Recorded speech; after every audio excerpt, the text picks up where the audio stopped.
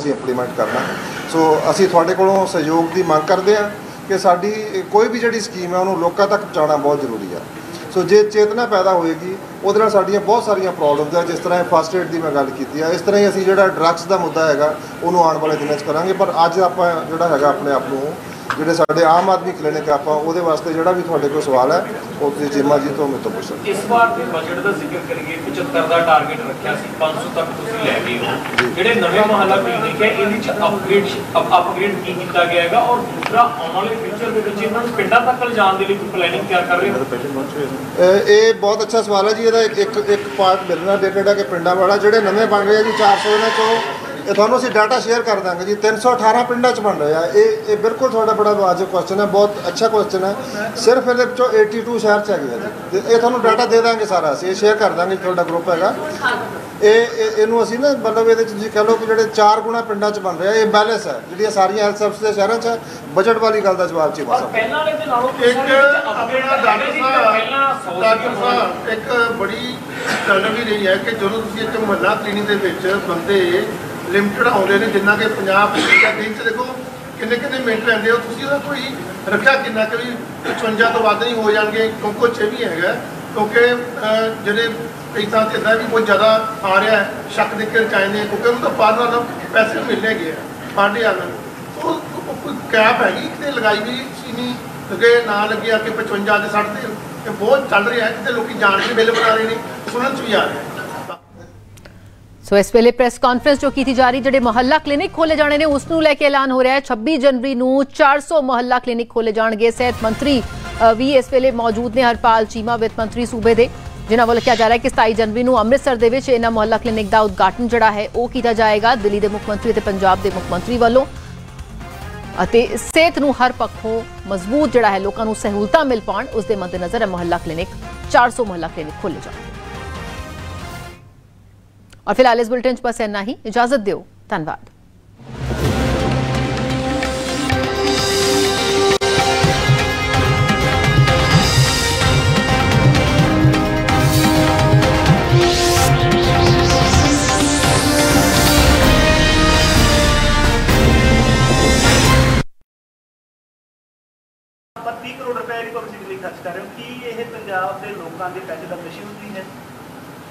ਦੇਖੋ ਨਾਲ ਹੀ ਸਵਾਲ ਲੈ ਲਓ ਸਰ ਇਹਦੇ ਨਾਲ ਹੀ ਸਵਾਲ ਲੈ ਲਓ। ਦੋ ਤਿੰਨ ਲੈ ਲਓ question। 2006 ਵਿੱਚ ਵੀ ਉਹਦੇ ਤੇ ਭ੍ਰਸ਼ਟਾਚਾਰ ਦੇ ਦੋਸ਼ ਲੱਗੇ ਨੇ ਜਿਹੜੀਆਂ ਮਸ਼ੀਨਾਂ ਅਹ ਕਪੜਾ ਹੋਇਆ ਵਾ ਤੇ ਉਹਦੇ ਵਿੱਚ ਜੇ ਤੁਸੀਂ ਫਾਈਲਾਂ ਦੇਖੀਆਂ ਹੋਣਗੀਆਂ ਕਿ ਕਿੰਨਾ ਵੱਡਾ ਕਪੜਾ ਹੈਗਾ ਕਿੰਨੀ ਕੁ ਵੱਡੀ ਸੀ ਜਾਂਚ ਦੇਖੋ ਇਹ ਇੱਕ ਇੱਕ ਹੁੰਦਾ ਐਡਮਿਨਿਸਟ੍ਰੇਟਿਵ ਪਾਰਟ ਹੁੰਦਾ ਕਿ ਜਿਹੜੀਆਂ ਬਦਲੀਆਂ ਟਰਾਂਸਫਰ ਜੋ ਬਾਕੀ ਸਾਰਾ ਡਿਪਾਰਟਮੈਂਟ ਦੇ ਵਿੱਚ ਚੱਲਦਾ ਹੈ, ਉਹ ਆਪਣੀ ਜਗ੍ਹਾ ਤੇ ਚੱਲੀ ਜਾਊਗਾ।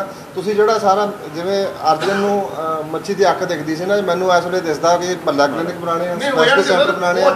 ਔਰ ਮੈਡੀਕਲ ਕਾਲਜਸ ਬਣਾਣੇ ਤੁਸੀਂ ਇਟਸ ਅ ਰੈਵੋਲੂਸ਼ਨ ਜਦੋਂ ਤੁਸੀਂ ਕਰਦੇ ਹੋ ਨਾ ਜੀ ਆਪਾਂ ਕਹਿੰਦੇ ਆ ਵੀ ਹਿੰਦੀ ਦਾ ਇਸਤੇਮਾਲ ਬਹੁਤ ਸਰਲ ਹੈ ਇਸਤੇਮਾਲ ਕਰੋ ਗਲਤੀਆਂ ਹੋਗੀ ਕੁਛ ਨਾ ਕੁਛ ਚੱਲਦਾ ਰਹਿੰਦਾ ਉਹਦੇ ਚ। These things will go on let us move on ਆਪਣਾ ਜਿਹੜਾ ਕੰਮ ਹੈ ਅਸੀਂ ਪੰਜਾਬ ਦੇ ਲੋਕਾਂ ਨੂੰ ਕੱਲੇ ਲੋਕਾਂ ਨੂੰ ਨਹੀਂ ਜੀ ਜਿਹੜੇ ਜੀਵ ਜੰਤੂ ਅਜੇ ਤਿਤਲੀਆਂ ਮਰ ਗਈਆਂ ਜੇ ਡੱਡੂ ਮਰ ਗਏ ਜੇ ਗੰਡੋਏ ਮਰ ਗਏ ਉਹਨਾਂ ਦੇ ਐਡਮਿਨਿਸਟਰ ਕੌਣ ਹੈ they don't have MLAs in the assembly we are we are their representatives doctor also ਸਾਹਿਬ ਤੁਹਾਡੀ ਗੱਲ ਦੇਖੋ ਬਹੁਤ ਅੱਛੀ ਗੱਲ ਇਹ ਵੀ ਹੈ ਇੱਕ ਪੰਜਾਬ ਦੇ ਵਿੱਚ ਡਾਕਟਰ ਹੀ ਹੈਲਥ ਮਿਨਿਸਟਰ ਬਣਿਆ ਤੁਹਾਡੇ ਤੋਂ ਬੜੀਆਂ ਉਮੀਦਾਂ ਵੀ ਨੇ Thank you ਜੀ, ਡਾਕਟਰ ਹੈ thank you. ਤੁਸੀਂ ਆਪ ਬੜੇ ਸਰਜਨ ਰਹੇ ਹੋ ਚੰਗੇ ਰਹੇ ਹੋ ਬੜਾ ਉਮੀਦ ਕਰਦੇ ਹਾਂ ਸਾਡੇ ਕੁਝ ਹੈਗਾ ਆਪਣਾ ਫਿਰ ਸੈਕੰਡਰੀ ਗੱਲ ਇਹ ਹੈ ਕਿ ਜਿਹੜੇ ਲੋਕੀ ਅਫਸਰ ਨਾਲ ਨਾਲ ਜਿਹੜਾ ਇਹ ਤੰਗ ਕਰਦੇ ਨੇ ਜਾਂ ਆਪਣਾ ਫੰਡ ਦੀ ਗੱਲ ਕਰਦੇ ਨੇ ਮਿਸਯੂ ਦੀ ਗੱਲ ਕਰਦੇ ਪਏ ਨੇ ਅਜੋਏ ਸ਼ਰਮਾ ਦੀ ਵਿਜੀਲੈਂਸ ਇਨਕੁਆਇਰੀ ਸ਼ੁਰੂ ਹੋਈ ਹੈ ਔਰ ਬਕਾਇਦਾ ਮਸ਼ੀਨਾਂ ਦੀ ਗੱਲ ਚੱਲਦੀ ਪਈ ਆ ਕਿ ਤੁਹਾਡੇ ਉਹਨੂੰ ਪਹਿਲਾਂ ਸਾਰਾ ਕੁਝ ਪਹਿਲਾਂ ਪਹਿਲਾਂ ਸੀਗਾ ਕਿ, ਲੇਕਿਨ ਉਹ ਹੁਣ ਤੱਕ ਕਿੱਥੇ ਤੱਕ ਪਹੁੰਚੀ ਹੈ ਕਿਉਂਕਿ ਮੈਟਰ ਬਹੁਤ ਸੀਰੀਅਸ ਹੈ, ਲੋਕਾਂ ਨਾਲ ਜੁੜਿਆ ਹੈ ਕਿ ਲੋਕਾਂ ਦੀ ਮਸ਼ੀਨਾਂ, ਲੋਕਾਂ ਨਾਲ ਤੁਸੀਂ ਸਾਰੇ ਕੰਮ ਲੋਕਾਂ ਵਾਸਤੇ ਕਰ ਰਹੇ ਹੋ। ਜੋ ਉਹ ਕਹਿੰਦਾ ਕਿ ਵੀ ਮੈਂ ਪਬਲਿਸਿਟੀ ਦੀ ਗੱਲ ਕਰਿਆ ਉਹ ਆਪ ਕਹਿੰਦੇ ਸਰਕਾਰ ਮਿਸਟਰ ਫੰਡ ਕਰਦੀ ਇਹਦਾ ਥੋੜਾ ਜਿਹਾ ਕਲੀਅਰ ਕਰ ਦਿਓ ਇੱਕ ਦੇਖੋ, ਇੱਕ ਗੱਲ ਅਬੰਡੈਂਟਲੀ ਕਲੀਅਰ ਹੈ ਜੀ।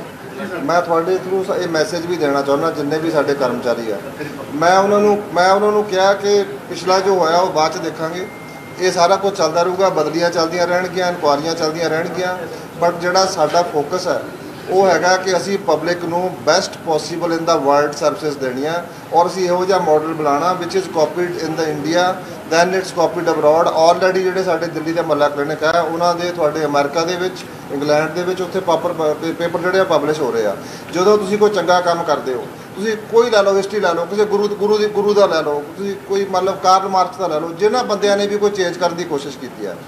ਜਿਹੜੇ ਬੰਦਿਆਂ ਨੇ ਵੀ ਚੰਗਾ ਕੰਮ ਕਰਨ ਦੀ ਕੋਸ਼ਿਸ਼ ਕੀਤੀ ਆ, ਹਮੇਸ਼ਾ ਬਹੁਤ ਸਾਰੇ ਲੋਕਾਂ ਨੇ ਉਹਨਾਂ ਦੀਆਂ ਲੱਤਾਂ ਖਿੱਚੀਆਂ। ਇਹ ਸਾਰੀਆਂ ਪ੍ਰੋਸੈਸ ਚੱਲਦੀਆਂ ਰਹਿਣਗੀਆਂ ਆਪਣੀ ਜਗ੍ਹਾ ਤੇ। ਬਟ ਜਿਹੜੀ ਸਾਡੀ ਹੈਲਥ ਮਸ਼ੀਨਰੀ ਆ ਇਟ ਮਸਟ ਮੂਵ ਔਨ ਸਾਡਾ ਕੰਮ ਇਹ ਆ, ਸਾਡਾ ਮੈਂਡੇਟ ਇਹ ਆ, ਸਾਡਾ ਸਾਡਾ ਸਾਨੂੰ ਮੈਂਡੇਟ ਇਹ ਦਿੱਤਾ ਗਿਆ ਕਿ ਅਸੀਂ ਇੱਕ ਇਹੋ ਜਿਹਾ ਹੈਲਥ ਮਾਡਲ ਬਣਾ ਕੇ ਦੇਣਾ। ਤੁਸੀਂ ਆਉਣ ਵਾਲੇ ਦਿਨਾਂ ਦੇ ਵਿੱਚ ਦੇਖੋਗੇ ਕਿ ਸਾਡੇ ਜਿਹੜਾ ਜਿਵੇਂ ਯੋਗਾ ਵਾਲੇ ਆ ਅਸੀਂ ਉਹਨਾਂ ਦੇ ਇਹੋ ਜਿਹੇ ਸੈਂਟਰ ਬਣਾਵਾਂਗੇ ਡਰੱਗ ਐਡਿਕਸ਼ਨ ਆ। ਅਸੀਂ ਜਿੱਥੇ ਮਹੱਲਾ ਕਲੀਨਿਕ ਬਣੇਗਾ ਤੁਸੀਂ ਕਨਸੈਪਟ ਦੇਖੋ ਜੀ। ਇੱਕ ਬੰਦਾ ਆ ਗਿਆ ਮਹੱਲਾ ਕਲੀਨਿਕ 'ਚ ਉਹਨੂੰ ਦਵਾਈ ਮਿਲ ਰਹੀ ਹੈ ਉਹਨੂੰ ਕਹਿੰਦੇ ਟੈਸਟ ਵੀ ਹੋਊਗਾ ਦਵਾਈ ਵੀ ਮਿਲੇਗੀ। ਲੇਕਿਨ ਇਹ ਮਹੱਲਾ ਕਲੀਨਿਕ ਦੇ ਪਿੱਛੇ ਇੱਕ ਹੋਰ ਸੈਂਟਰ ਆ ਉੱਥੇ ਇੱਕ ਵਾਰੀ ਜਾ ਕੇ ਆਓ। ਉੱਥੇ ਕੀ ਹੋਏਗਾ? ਉੱਥੇ ਉਹਦੇ ਵਿੱਚ ਗਾਰਡਨ ਆਫ ਫ੍ਰੈਗਰੈਂਸ ਹੋਏਗਾ। ਉਹਦੇ ਚਾਰੋਂ ਮੈਡਿਕ ਪਲਾਂਟਸ ਹੋਣਗੇ ਫੁੱਲਾਂ ਵਾਲੇ ਦਰਖਤ ਹੋਣਗੇ ਉਹਦੇ ਵਿੱਚ। ਉਹਦੇ ਵਿੱਚ ਯੋਗਾ ਸੈਂਟਰ ਹੋਏਗਾ ਉਹਦੇ ਵਿੱਚ ਮੈਡੀਟੇਸ਼ਨ ਸੈਂਟਰ ਹੋਏਗਾ ਉਹਦੇ ਵਿੱਚ ਵਾਕਿੰਗ ਟਰੈਕ ਹੋਏਗਾ ਉਹਦੇ ਵਿੱਚ ਬੈਡਮਿੰਟਨ ਵਾਲੀਬਾਲ ਦੀ ਫੈਸਿਲਿਟੀ ਹੋਏਗੀ। ਹੀ। ਉਹ- ਉਹਨੂੰ ਉਹਨੂੰ ਦੱਸਾਂਗੇ। ਦਿਸ- ਮਤਲਬ ਦਿਸ ਦਾ ਕਨਸੈਪਟ ਇਹ ਭਗਵੰਤ ਮਾਨ ਜੀ ਚਾਹੁੰਦੇ ਆ ਇਸੇ ਕਰਕੇ ਖੇਡਾਂ ਕਰਾਈਆਂ ਗਈਆਂ। ਅਸੀਂ ਉਹਨਾਂ ਨੂੰ ਕਹਿਣਾ ਕਿ ਤੇਰਾ ਥੋੜਾ ਜਿਹਾ ਬੀਪੀ ਵਾਦਾ ਥੋੜੀ ਸ਼ੂਗਰ ਵਾਦੀ ਹੈ ਗੋਲੀ ਲੈਣੀ ਗੋਲੀ ਲੈ ਲੈ। ਪਰ ਡਾਕਟਰ ਕਹੇਗਾ ਮੇਰੀ ਸਲਾਹ ਹੈ ਕਿ ਗੋਲੀ ਨਾ ਲੈ। ਤੂੰ 1 ਘੰਟਾ ਸੈਰ ਕਰਨੀ ਆ ਅੱਧਾ ਘੰਟਾ ਤੂੰ ਯੋਗਾ ਕਰਨਾ ਇੱਕ ਮਹੀਨੇ ਬਾਅਦ ਮੇਰੇ ਕੋਲ ਆਈ ਫਿਰ ਆਪਾਂ ਰਿਵਾਈਜ਼ ਕਰਾਂਗੇ। 90% ਲੋਕਾਂ ਨੂੰ ਦਵਾਈ ਦੀ ਲੋੜ ਨਹੀਂ ਪਏਗੀ। ਮੰਤਰੀ ਦਵਾਈ ਸਾਹਿਬ- medicine will be the last resort ਮੰਤਰੀ ਸਾਹਿਬ 450 ਪਿੰਡੂ ਜਿਹੜੇ ਅਹ, ਵਿਕਾਸ ਵਿਭਾਗ ਦੇ ਕੋਲ 450 ਪਿੰਡੂ ਡਿਸਪੈਂਸਰੀਆਂ ਨੇ ਜਿੱਥੇ ਕੁਆਲੀਫਾਈਡ ਡਾਕਟਰ ਵੀ ਆ। ਤੇ ਤੁਸੀਂ ਜਦਕਿ ਇਹ ਉੱਥੇ ਦਵਾਈਆਂ ਹੈ ਨਹੀਂ ਮਹੱਲਾ ਕਲੀਨਿਕ ਕੋਲੇ ਦਵਾਈਆਂ ਨੇ। ਤੁਸੀਂ ਉੱਥੇ ਡਿਸਪੈਂਸਰੀਆਂ ਪਿੰਡੂ ਡਿਸਪੈਂਸਰੀਆਂ ਕੋਲੇ ਕੁਆਲੀਫਾਈਡ ਡਾਕਟਰ ਆ ਫਾਰਮਾਸਿਸਟ ਆ। ਉਹਨਾਂ ਨੂੰ ਕਿਉਂ ਨਹੀਂ ਵਿੱਚ ਰਲਾਉਂਦੇ ਤੁਹਾਡੇ ਇੱਕਦਮ ਜਿਹੜਾ ਗ੍ਰਾਫ ਵੀ ਵਧੇਗਾ। ਤੁਹਾਡੇ ਮੂੰਹ 'ਚ ਕਿਉਂ ਸ਼ੱਕਰ? ਆਈ ਕਰ ਰਹੇ ਅਸੀਂ। ਪਹਿਲੀ ਵਾਰੀ ਜਿਹੜੇ 100 ਸੈਂਟਰ ਸੀਗੇ ਉਹ ਡੀ ਨੋਵੋ ਸੀਗੇ ਨਵੇਂ ਸੀਗੇ। ਸਟਾਫ ਵੀ ਨਵਾਂ ਬਿਲਡਿੰਗ ਵੀ ਨਵੀਂ। ਜਿਹੜੇ ਇਸ ਵਾਰੀ 475 ਸੈਂਟਰ ਹੈ ਅਸੀਂ ਉਹ ਸੈਂਟਰ ਹੈ ਤੁਹਾਨੂੰ ਹੈਰਾਨੀ ਹੋਏਗੀ। ਉਹ 475 ਦੇ ਵਿੱਚੋਂ 75 ਸੈਂਟਰ ਇਹੋ ਜਿਹੇ ਸੀ, ਉਹ ਅਪਗ੍ਰੇਡ ਕਿਉਂ ਨਹੀਂ ਹੋ ਰਹੇ? ਉਹਨਾਂ ਦੀਆਂ ਬਿਲਡਿੰਗ ਅਨਸੇਫ ਸੀਗੀਆਂ। ਮਤਲਬ ਤੁਸੀਂ ਦੇਖੋ, ਇਸ ਤੋਂ ਪਹਿਲਾਂ ਕੀ ਹੋ ਰਿਹਾ ਸੀ? ਮੈਂ ਮਤਲਬ ਇੱਕ ਜ਼ੈਰੋ ਜਰਨਲਿਜ਼ਮ ਹੀ ਹੁੰਦਾ ਨਾ ਜੀ। ਇਹ ਤਾਂ ਤੁਹਾਨੂੰ ਜਿਹੜੀ ਤੁਸੀਂ ਮੈਨੂੰ ਸਵਾਲ ਪੁੱਛਿਆ, ਤੁਹਾਨੂੰ ਹਾਹਾਕਾਰ ਮਚਾਣੀ ਚਾਹੀਦੀ ਸੀ। ਵੀ 75 ਇਹੋ ਜਿਹੇ ਹਸਪਤਾਲ ਜਿਹੜੇ ਅਨਸੇਫ ਉੱਥੇ ਬੈਠ ਕੇ ਡਾਕਟਰ ਸਟਾਫ ਕੰਮ ਕਰ ਰਿਹਾ। ਕੋਈ ਹਾਦਸਾ ਹੋ ਸਕਦਾ ਸੀਗਾ। ਇਹ ਤਾਂ ਧੰਨਵਾਦ ਕਰੀਏ ਮੁੱਖ ਮੰਤਰੀ ਭਗਵੰਤ ਸਿੰਘ ਮਾਨ ਦਾ, ਜਿਹਨੇ ਸਾਰਾ ਆਡਿਟ ਕਰਵਾਇਆ।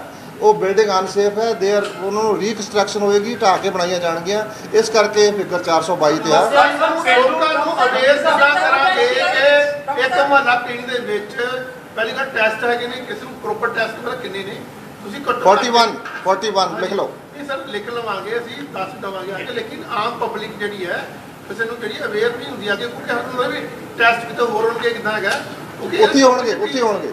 ਹਾਂ। ਇਹ ਇਹ ਇਹ ਅੱਛੀ ਗੱਲ ਹੈ ਇਹ ਲਿਖੋ ਟੈਸਟ ਪਰ ਕਲੀਨਿਕ ਦੇ ਵਿੱਚ ਹੀ ਹੋਣਗੇ ਕੀਤਾ ਜਾਏਗਾ ਬਲਵੀਰ ਜੀ। ਪਿੰਡੂ ਫਾਰਮੇਸੀ ਐਸੋਸੀਏਸ਼ਨ ਦੇ ਜਿਹੜੇ ਮੈਂਬਰ ਹੈ ਉਹ ਕਹਿੰਦੇ ਅਸੀਂ ਇਹ ਚ ਸ਼ਾਮਲ ਨਹੀਂ ਹੋਵਾਂਗੇ ਕਿਉਂਕਿ 2006 ਤੋਂ 6000 ਰੁਪਏ ਤਨਖਾਹ ਮਿਲਦੀ ਹੈ ਜਾਂ ਤਾਂ ਤਨਖਾਹ ਦੇ ਵਿੱਚ ਵਾਧਾ ਕੀਤਾ ਜਾਵੇ ਨਹੀਂ ਸਾਨੂੰ ਇਹਦੇ ਵਿੱਚ ਇਨਵੋਲਵ ਨਾ ਕੀਤਾ ਜਾਵੇ these are teething troubles we will overcome them there will be ਮੈਂ ਕਹਿੰਦਾ ਜਦੋਂ ਤੁਸੀਂ ਕੋਈ ਵੀ ਕੰਮ ਕਰੋਗੇ there will be teething troubles we will overcome them ਇਹਦੇ 'ਚ ਕੀ ਦਿੱਕਤ ਹੈ ਸਰ 2006 ਦੇ ਵਿੱਚ 540 ਪਿੰਡੂ ਡਿਸਪੈਂਸਰੀਆਂ ਜਿਹੜੀਆਂ ਖੋਲੀ ਗਈਆਂ ਉਹਦੇ ਵਿੱਚ ਜਿਹੜੇ ਡਾਕਟਰ ਕੰਮ ਕਰ ਰਹੇ ਨੇ ਉਹਨਾਂ ਨੂੰ ਇੱਧਰ ਟ੍ਰਾਂਸਫਰ ਕੀਤਾ ਜਾ ਰਿਹਾ ਜਿਸ ਦੇ ਚੱਲਦੇ ਉਹਨਾਂ ਦੇ ਵਿੱਚ ਰੋਸ ਆ ਤੇ ਉਹ ਹੜਤਾਲ ਤੇ ਜਾਣ ਦੀ ਵੀ ਤਿਆਰੀ ਦੇ ਵਿੱਚ ਨੇ ਮੈਡਮ ਉਹਨਾਂ ਨੂੰ ਨਾ ਅਹ, ਉਹਨਾਂ ਨੂੰ ਦੇਖੋ ਮੈਂ ਰੈਗੂਲਰਲੀ ਸਾਰਿਆਂ ਨਾਲ ਇੰਟਰੈਕਟ ਕਰ ਰਿਹਾ ਮੈਂ ਤੁਹਾਨੂੰ ਕਿਹਾ ਵੀ ਜਿਹੜੇ ਐਗਜ਼ਿਸਟਿੰਗ ਸੈਂਟਰ ਹੈ ਉਹਨਾਂ ਦੇ ਵਿੱਚ ਕੁਝ ਰੀ ਡਿਪਲੋਇਮੈਂਟ ਹੋ ਰਹੀ ਹੈ ਹੁਣ ਅਸੀਂ ਸਾਡੇ ਕੋਲ ਸਪੈਸ਼ਲਿਸਟ ਡਾਕਟਰ ਹੈ ਇਹ ਇਹ ਇਹਨੂੰ ਧਿਆਨ ਨਾਲ ਸੁਣਿਓ ਗੱਲ ਨੂੰ। ਸਾਡੇ ਕੋਲ 271 ਆਏ ਜੀ ਹੁਣ ਸਪੈਸ਼ਲਿਸਟ ਡਾਕਟਰ ਆਇਆ ਉਹ ਕਹਿੰਦਾ ਜੀ ਮੈਨੂੰ ਰੋਪੜ ਲਾਓ। ਠੀਕ ਹੈ ਜੀ?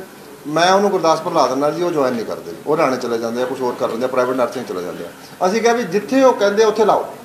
ਅਸੀਂ ਜੁਆਇਨ ਕਰਾ ਲਿਆ ਉਹ ਸਾਡਾ ਕਰਮਚਾਰੀ ਹੋ ਗਿਆ ਹੁਣ। ਹੁਣ ਕੀ ਹੋਇਆ ਕਿ ਕਿਸੇ ਜਗ੍ਹਾ ਤੇ ਚਾਰ ਅਨਸਥੈਟਿਸਟ ਹੈ ਇਹ ਪ੍ਰੋਬਲਮਸ ਹੋਣ ਗਿਆ। ਹੁਣ ਉਹਦੀ ਰੈਸ਼ਨਲਾਈਜੇਸ਼ਨ ਕਰਾਂਗਾ ਮੈਂ ਹੈ ਨਾ ਇਟਸ ਅ ਪ੍ਰੋਸੈਸ ਹੁਣ ਮੈਂ ਰੈਸ਼ਨਲਾਈਜੇਸ਼ਨ ਕਰਾਂਗਾ ਕਿ ਜਿਵੇਂ ਸਾਡੇ ਮਲੋਟ ਦੇ ਵਿੱਚ ਚਾਰ ਆਈ ਸਰਜਨ ਉਹਦੇ ਚ ਅ, ਮੁਕਤਸਰ ਚ ਨਹੀਂ ਹੈ। ਹੁਣ ਰੈਸ਼ਨਲਾਈਜੇਸ਼ਨ ਕੀ ਹੈ? ਮੈਂ ਡਾਕਟਰ ਨੂੰ ਕਹਾਂਗਾ ਕਿ 2 ਦਿਨ ਤੂੰ ਮੁਕਤਸਰ ਲਾਇਆ ਕਰ। ਦੂਜੇ ਨੂੰ ਕਹਾਂਗਾ 2 ਦਿਨ ਤੂੰ ਲਾਇਆ ਕਰ। ਤੀਜੇ ਨੂੰ ਕਹਾਂਗਾ 2 ਦਿਨ ਤੁਸੀਂ ਲਾਇਆ ਕਰੋ। ਸਰਵਿਸ ਮਿਲ ਗਈ ਮੁਕਤਸਰ ਦੇ ਵਿੱਚ। ਮੇਰਾ ਕੰਮ ਵੀ ਚੱਲ ਗਿਆ। ਮੈਂ ਉਹਨਾਂ ਦੀ ਗੱਲ ਵੀ ਮੰਨ ਲਈ, ਉਹਨਾਂ ਨੇ ਮੇਰੀ ਗੱਲ ਮੰਨ ਲਈ। ਹੁਣ ਮੇਰੇ ਕੋਲੇ ਪਟਿਆਲੇ ਦੇ ਵਿੱਚ ਮੈਡੀਕਲ ਕਾਲਜ ਨਿਊਰੋ ਸਰਜਨ ਨਹੀਂ ਹੈ। ਉੱਥੇ ਪ੍ਰਾਈਵੇਟ ਨਿਊਰੋ ਸਰਜਨ ਹੈ। ਮੇਰੀ ਉਹਦੇ ਨਾਲ ਗੱਲ ਚੱਲਦੀ ਆ। ਠੀਕ ਹੈ ਜੀ? ਮੇਰਾ ਮੈਂਡੇਟ ਹੈ ਮੈਨੂੰ ਮੁੱਖ ਮੰਤਰੀ ਨੇ ਕਿਹਾ ਵੀ ਤੁਹਾਡਾ ਐਮਰਜੈਂਸੀ ਪੇਸ਼ੈਂਟ ਚੰਡੀਗੜ੍ਹ ਨਹੀਂ ਆਉਣਾ ਚਾਹੀਦਾ ਕਿੱਦਾਂ ਕਰਨਾ ਦੈਟਸ ਮਾਈ ਡੋਮੇਨ ਹੈ ਨਾ ਮੈਂ ਪ੍ਰਾਈਵੇਟ ਡਾਕਟਰ ਨੂੰ ਕਿਹਾ ਵੀ ਤੂੰ ਸਾਡੀ ਐਮਰਜੈਂਸੀ ਸਰਵਿਸ ਦੇਣੀ ਆ ਤੂੰ ਆਪਰੇਟ ਕਰਨੀ ਆ ਗਵਰਨਮੈਂਟ ਵੱਲ page you and we are fixing the rate emergency Farishtey scheme ਮੁੱਖ ਮੰਤਰੀ ਜੀ ਨੇ ਕਹਿ ਦਿੱਤਾ ਜੀ। ਪਹਿਲਾਂ ਐਂਬੂਲੈਂਸ ਦਾ ਕਿਹਾ ਫਰਿਸ਼ਤੇ ਸਕੀਮ ਆ, ਉਹਦੇ ਚ ਕੀ ਆ ਜਿਹੜਾ ਬੰਦਾ ਇੰਜਰਡ ਬੰਦੇ ਨੂੰ ਹਸਪਤਾਲ ਲੈ ਕੇ ਜਾਏਗਾ ਜਿਹੜੇ ਹਸਪਤਾਲ ਚ ਮਰਜ਼ੀ ਲੈ ਜੇ ਜਿਹੜੇ ਹਸਪਤਾਲ ਚ ਮਰਜ਼ੀ ਲੈ ਜੇ ਉਹਦੇ ਵਿੱਚ ਉਹਨੂੰ 2000 ਰੁਪਏ ਦੇਵਾਂਗੇ ਨਾਲ ਸਨਮਾਨ ਦੇਵਾਂਗੇ ਉਹਨੂੰ। ਕਿੰਨੀ ਵਧੀਆ ਸਕੀਮ ਹੈ ਜੀ ਇਹ। Now that arrangement is being worked out ਉਹਦੇ ਵਿੱਚ ਕੁਝ ਬੰਦੇ ਨੂੰ ਇਤਰਾਜ਼ ਹੋ ਸਕਦਾ ਜੀ, ਕਿਸੇ ਬੰਦੇ ਨੇ ਕਹਿਤਾ ਅਪਲਾਈਜ਼ ਨੂੰ ਹੋਊਗਾ ਜੀ। ਜਿਹੜੇ 6000 ਤੇ ਲੱਗੇ ਉਹਨਾਂ ਨੂੰ 6000 ਨਹੀਂ ਅਸੀਂ ਪੂਰੀ ਤਨਖਾਹ ਦੇਵਾਂਗੇ, ਉਹਨਾਂ ਨੂੰ ਆਪਣਾ ਕੰਮ ਕਰਾਵਾਂਗੇ। ਇਸ ਤਰ੍ਹਾਂ ਹੀ ਅਸੀਂ ਜਿਹੜੀ ਹੈਗੀ ਆ, ਤੁਹਾਡੇ ਕੋਲੇ ਮਿਸਾਲ ਦੇ ਤੌਰ ਤੇ। ਸਾਡੇ ਕੋਲੇ ਇੰਟਰਨ ਹੈ ਜੀ। 200 ਡਾਕਟਰ ਹੈ ਸਾਡੇ ਕੋਲ। ਮੈਂ ਆਂਦੇ ਸਾਰ ਕੋਈ ਪੈਸਾ ਨਹੀਂ ਲੱਗਿਆ, ਮੇਰੇ ਕੋਲ ਇੰਟਰਨ ਤਾਂ ਹੈਗੇ ਆ ਨਾ ਜੀ। ਪਹਿਲਾਂ ਕੀ ਕੰਮ ਕਰਦੇ ਸੀ? ਮੈਂ ਕਿਹਾ ਜੀ, ਆਹ ਟਾਈਮ ਕਿਉਂ time 6 intern 6 nursing students emergency ਦਾ ਸਟਾਫ ਪੂਰਾ ਹੋ ਗਿਆ ਮੇਰਾ। ਮੈਂ 12 ਲਾ ਦੂੰਗਾ ਉੱਥੇ। ਅਸੀਂ ਅਸੀਂ ਆਉਣ ਵਾਲੇ 2 ਸਾਲ ਦੇ ਵਿੱਚ ਪੰਜਾਬ ਦੀ ਇੰਟਾਇਰ ਪੋਪੂਲੇਸ਼ਨ ਜਿੰਨੀ ਮੇਰੇ ਕੋਲ ਮੈਡੀਕਲ ਪਾਵਰ ਹੈ, ਉਹਨਾਂ ਦੀ ਮੈਂ ਟ੍ਰੇਨਿੰਗ ਕਰਾਂਗਾ। ਇਹਦੇ ਵਿੱਚ ਮੁਹੱਲਾ ਕਲੀਨਿਕ ਦੇ ਵਿੱਚ ਟੈਲੀਮੈਡੀਸਨ ਹੋਏਗੀ। ਉਹਨਾਂ ਨੂੰ ਸੁਪਰ ਸਪੈਸ਼ਲਿਸਟ ਸਰਵਿਸ ਉੱਥੇ ਹੀ ਦੇਵਾਂਗੇ ਅਸੀਂ। ਤੁਸੀਂ ਦੇਖੋ ਤਾਂ ਅਸੀਂ ਹੁਣ ਹੋਣ ਕੀ ਜਾ ਰਿਹਾ। ਅਸੀਂ ਇੰਟਾਇਰ ਪੋਪੂਲੇਸ਼ਨ ਅਸੀਂ ਉਹਨਾਂ ਦੇ ਉਹਨਾਂ ਦਾ ਹੈਲਥ ਚੈੱਕਅਪ ਕਰਾ ਦਾਂਗੇ। ਬਲੱਡ ਪ੍ਰੈਸ਼ਰ ਸ਼ੂਗਰ ਲੋਕਾਂ ਦੇ ਗੁਰਦੇ ਫੇਲ ਹੋ ਜਾਂਦੇ। ਅਸੀਂ ਡਾਇਲਸਿਸ ਯੂਨਿਟ ਲਾਈ ਜਾਂਦੇ ਆ ਅਸੀਂ ਕੈਂਸਰ ਹਸਪੀਟਲ ਬਣਾਈ ਜਾਂਦੇ ਕਿਉਂ? We we will work on prevention of cancer we will work on ਮਤਲਬ early treatment of diabetes and hypertension ਅਸੀਂ ਜਿਹੜਾ ਇਸ ਤੋਂ ਸਿਵਾਏ ਜਿਹੜੀ ਹੈ ਜੋ- ਵੀ ਫੂਡ ਅਵੇਲੇਬਲ ਹੈ ਉਹਦੀ ਸਾਰੇ ਦੀ ਚੈਕਿੰਗ ਹੋਏਗੀ। ਪੰਜਾਬ ਦੇ ਪਾਣੀ ਨੂੰ ਚੈੱਕ ਕਰਾਂਗੇ। ਜਿੱਥੇ ਲੋਕਾਂ ਨੂੰ ਜਿੱਥੇ ਲੋਕ ਪਾਣੀ ਪੀ ਕੇ ਬਿਮਾਰ ਹੁੰਦੇ ਆ ਉਹਨਾਂ ਨੂੰ ਅਸੀਂ ਉਹ ਟੱਟੀਆਂ ਉਲਟੀਆਂ ਦੀ ਦਵਾਈ ਕਿਉਂ ਦੇਈਏ? ਜਿਹੜਾ ਪਾਣੀ ਠੀਕ ਕਰਾਂਗੇ ਅਸੀਂ। ਜਿਹੜੇ ਪ੍ਰਾਈਵੇਟ ਡਾਕਟਰ ਜਿਹੜੇ ਫਿਰ ਡਾਕਟਰ ਹੈਗੇ ਤੁਹਾਡੇ ਮੈਡੀਕਲ ਕਾਲਜ ਵਾਲੇ ਹੈਗੇ ਖਾਸ ਤੌਰ ਤੇ ਉਹ ਆਪਣੀ ਕਰਦੇ ਨੇ ਪ੍ਰਾਈਵੇਟ ਪ੍ਰੈਕਟਿਸ ਕਰਦੇ ਹੈਗੇ ਨੇ। ਇਹ ਥੋੜੇ ਪਟਿਆਲਾ ਵਿੱਚ ਸਭ ਤੋਂ ਜ਼ਿਆਦਾ ਚਰਚ ਹੁੰਦੀ ਕੰਮ ਚੱਲਦਾ ਹੈ। ਕਿਉਂਕਿ ਸੀਨੀਅਰ ਡਾਕਟਰ ਨੇ ਉਹ ਬਿਲਕੁਲ ਆਪਣੇ ਪ੍ਰਾਈਵੇਟ ਨਾਲ ਨੂੰ ਚਲਾਉਂਦੇ ਹੈਗੇ ਨੇ। ਇਹਨੂੰ ਤੁਸੀਂ ਕਿਵੇਂ ਰੋਕੋਗੇ? ਤੁਹਾਡੇ ਹੀ ਘਰ ਦੇ ਵਿੱਚ ਬਹੁਤ ਜ਼ਿਆਦਾ ਉਹਦੇ ਚ ਦਿੱਕਤ ਸ਼ੁਰੂ ਹੋਈ ਪਈ ਹੈ ਉੱਥੋਂ ਪਟਿਆਲੇ ਆ ਹੁਣ ਮੇਰਾ ਧਿਆਨ ਸੁਣੋ ਜਵਾਬ ਦਾ ਇਹ ਤੁਹਾਡਾ ਸਵਾਲ ਬੜਾ ਵਧੀਆ ਤੁਸੀਂ ਦੇਖੋ ਜੀ, ਇੱਕ ਸਰਕਾਰ ਹੋਣਾ ਹੈ। ਸਾਡੇ ਮੁੱਖ ਮੰਤਰੀ ਭੱਜੇ ਫਿਰਦੇ ਆ ਜੀ, ਕਿੰਨੇ ਹਸਪਤਾਲਾਂ ਜਾਏ ਉਹ, ਠੀਕ ਹੈ ਜੀ? ਮੈਂ ਹਰ ਹਸਪਤਾਲ 'ਚ ਜਾਂਦਾ ਜਦੋਂ ਸਾਡੇ ਸਾਡੇ ਐਮਐਲਏ ਜਾਂਦੇ ਆ, ਪਹਿਲਾਂ ਕੀ ਸੀਗਾ ਜੀ? ਮੋਤੀਆਂ ਵਾਲੀ ਸਰਕਾਰ, ਸਰਕਾਰੀ ਕੋਠੀ ਛੱਡ ਕੇ ਪ੍ਰਾਈਵੇਟ ਮੈਚ ਰਹਿੰਦੀ ਸੀ, ਠੀਕ ਹੈ ਨਾ ਜੀ? ਉਦੋਂ ਮੰਤਰੀ ਕੀ ਕਰਦੇ ਸੀ? ਮੈਂ ਨਹੀਂ ਕਹਿ ਰਿਹਾ। ਮੈਂ ਨਹੀਂ ਕਹਿ ਰਿਹਾ ਸੀ। ਮੁੱਖ ਮੰਤਰੀ ਨੇ ਖੁਦ ਕਿਹਾ, ਮੈਂ ਹੈਲੀਕਾਪਟਰ ਤੇ ਜਾ ਰਿਹਾ ਸੀਗਾ, ਉੱਥੇ ਮਾਈਨਿੰਗ ਹੋ ਰਹੀ ਸੀ, ਮਤਲਬ ਮੈਨੂੰ ਰਿਪੋਰਟ ਦਿਓ। ਕੋਈ ਮਾਈਨਿੰਗ ਕਰ ਰਿਹਾ ਸੀ। ਨਕਲੀ ਸ਼ਰਾਬ ਦੀਆਂ ਫੈਕਟਰੀਆਂ ਚੱਲਦੀਆਂ ਸੀ ਕਿ ਨਹੀਂ ਚੱਲਦੀਆਂ ਸੀ? ਬੰਦੇ ਮਰੇ ਕਿ ਨਹੀਂ ਮਰੇ? ਜਦੋਂ ਮੋਤੀਆਂ ਵਾਲੀ ਸਰਕਾਰ ਕਿਤੇ ਹੋਰ ਬਿਜ਼ੀ ਸੀ, ਮੰਤਰੀ ਕੋਈ ਮਾਈਨਿੰਗ ਕਰ ਰਿਹਾ ਸੀ, ਕੋਈ ਨਕਲੀ ਸ਼ਰਾਬ ਦੀਆਂ ਫੈਕਟਰੀਆਂ ਚਲਾ ਰਿਹਾ ਸੀ, ਜੋ ਐਮਐਲਏ ਸੀਗੇ, ਉਹ ਕੀ ਕਰਦੇ ਸੀ? ਕਿੰਨੇ ਬੰਦੇ ਸੀ? ਤੁਹਾਡੇ ਨੂੰ ਵੱਧ ਕੌਣ ਜਾਣਦਾ? ਜੀ ਤੁਸੀਂ ਤਾਂ ਜਾਣੀ ਜਾਣੋ ਤੇ ਅਸੀਂ ਹੁਣ ਜਿਹੜੀ ਸਾਡੀ ਸਰਕਾਰ ਹੈ, ਇਹ ਲੋਕਾਂ ਦੀ ਸਰਕਾਰ ਹੈ। ਸਾਡੇ ਚੋਂ ਕਿਹੜਾ ਪੋਲੀਟੀਸ਼ੀਅਨ ਹੈ ਜੀ? ਕਿਹੜਾ ਪੋਲੀਟੀਸ਼ੀਅਨ ਹੈ? ਸਾਰੇ ਤੁਹਾਡੇ ਵਰਗੇ 12 ਤਾਂ ਡਾਕਟਰ ਹੈ ਜੀ ਉਹ। ਜਦੋਂ ਇੱਕ ਤੁਸੀਂ ਅਨੇਬਲ ਇੱਕ ਐਟਮੋਸਫੀਅਰ ਕਰ ਦੋਗੇ ਜਥਾ ਰਾਜਾ ਤਥੀ ਪ੍ਰਜਾ ਪ੍ਰਜਾ ਥੈਂਕ ਯੂ ਵੈਰੀ ਮਚ